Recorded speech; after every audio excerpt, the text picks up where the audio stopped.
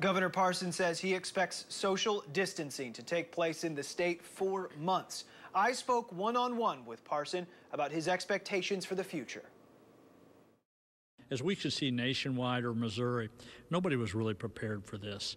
And then what you got to realize is you got to get prepared every day. Every day you come into the office, you had to start thinking, how do I prepare for this day and how do I prepare for tomorrow because nobody knew what was going to happen. You're going to have to have a new form of lifestyle a little bit to where social distancing is part of that. And whether it's a restaurant, you know, you may open up a restaurant again, but it's probably not going to be table after table after table that you're going to set there. We're probably going to have to make adjustments to that. I think the business owners will make that as we see now. But I think there'll be a change of lifestyle for us for a while, and we got to gradually do this. You know, one, we got to make sure this don't have a surge and come back. So I mean, that's the one thing we're all looking at. But look, you can't keep people at home uh, in this state. Uh, everybody stepped up their game. They've they, they got their A game on here. People stayed home. They did what's been asked to do, and we see that. But you know, at some point, people's got to live a life and, and we got to weigh all that out. So, and, and that's a tough decision every day. You know, I've been at this now for almost 30 days, coming in here 30 days, and you know, it's, it's danged if you do and danged if you don't.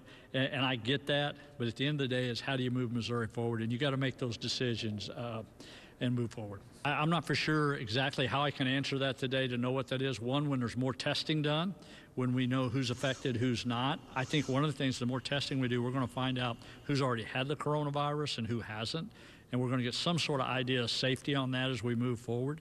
And, and then I think as we go forward, we're just going to have to see. But it's going to be months uh, before we can ever make that decision where everything goes back to normal, people can get out, and you don't have social distancing. It's just going to be for a while. But I think there's going to be a demand for certain things. I think customers are going to go want to go back to business and they're going to to feel safe. Now, whatever it takes for them to feel safe, I think the employers, the business owners, are going to adjust to that. Uh, I really think that's what's going to happen in here because I don't know how easy people's going to want to go travel again, for example. How, much, how quick do you want to get in an airplane? How quick do you want to get in a hotel? So, you know, there's things like we're looking at from the state level. You know, maybe now's a great time to, to promote inside the state tourism. Maybe now you just have to put a tank of gas in there and you go to anywhere in the state you want to do that. So there's things you can do to help the economy and get people moving and be safe. But I think safety is a priority.